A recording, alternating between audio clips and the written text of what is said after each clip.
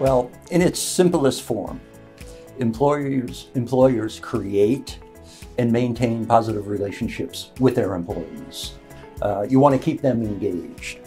Uh, the idea is to prevent and resolve problems before they become problems. Uh, you want to create and administer policies that are fair and consistent. Uh, sometimes it's about uh, employees sharing their challenges or concerns that they may have, you providing assistance in helping them navigate through those issues. Sometimes it's advice.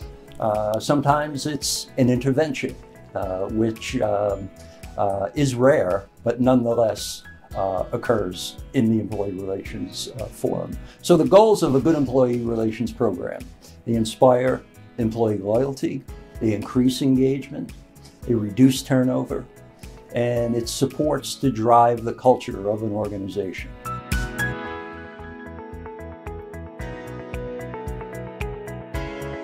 So in employee relations, it's, it's a dual role. It's being proactive and being reactive. On a proactive standpoint, you want to get a sense of the organization and the culture. Uh, you want to specifically see how employees go through their day-to-day activities. Uh, are they smiling? Are they not smiling?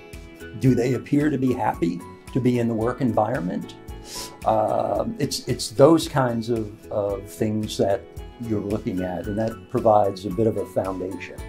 From there, if you detect areas where you can influence and make a change, uh, you can get a little bit more specific and deal with those kinds of issues that come to the surface.